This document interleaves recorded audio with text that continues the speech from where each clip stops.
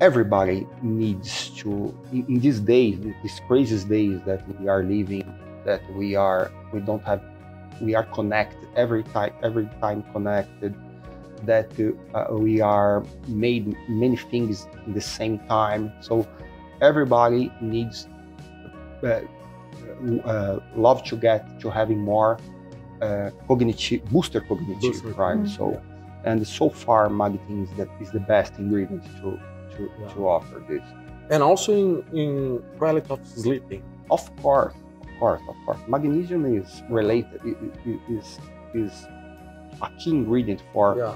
every cognitive condition right Sure. so of course uh, I, I so i would like samantha that you explain a little bit about the magnesium history how this ingredient this important ingredient uh, appear in AIDP for example Yeah. Magtein is is fun to talk about because the history is really interesting. Um, the the scientist that invented Magtein, um, he at the time was looking for a pharmaceutical compound actually Mhm. that could reverse some of the processes in the brain that lead to um, Alzheimer's. And as he was, um, it was a, a model, as he was reviewing various compounds that he was putting through this model, it was almost an accidental discovery that this uh, magnesium L-threonate was incredibly effective at turning on senescent brain cells and allowing them to communicate with one another, Mm. uh, basically um, restoring their function Yeah. after Yeah.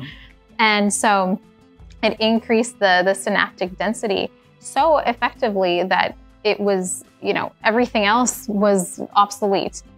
And um, given that it's a compound of magnesium, the incredible thing is he- was able to then go down a route of uh, supplement development um, with, the, with the material.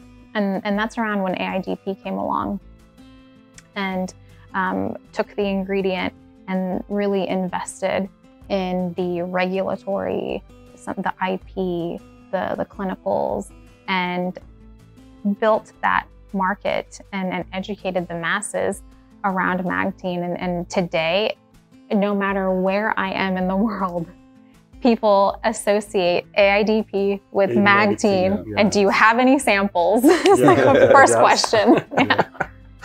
i But- can imagine Uh,